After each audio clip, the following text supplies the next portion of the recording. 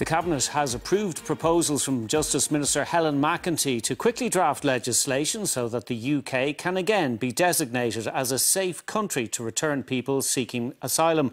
Last month, the High Court ruled that the designation of the UK as a safe third country did not comply with EU law.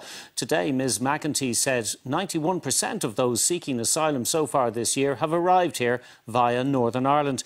The opposition accused the government of incompetence in what was described as its chaotic handling of the migration issue.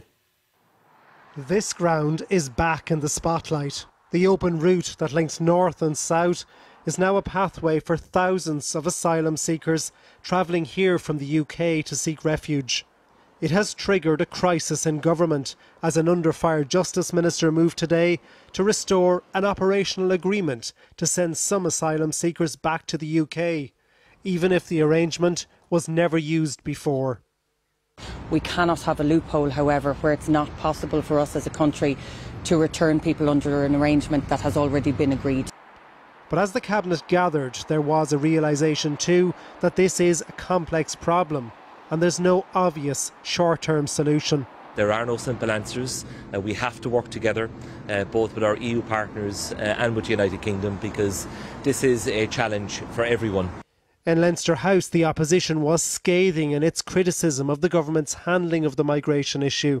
The government is playing fast and loose with people's lives here, and the consequences that are being felt around the cabinet, that are being felt in our communities, that are being felt in international diplomacy.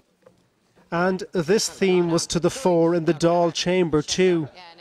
The mishandling of this um, by your government, by your Taoiseach, has been a gift to the Tories. And if you follow politics over there, as no doubt you do, I, am no, I have no doubt that you are very well aware of that fact too. The Taoiseach pledged that Ireland would not become a pawn for British politics, as he sought instead to highlight what government believe is the main measure to address this crisis.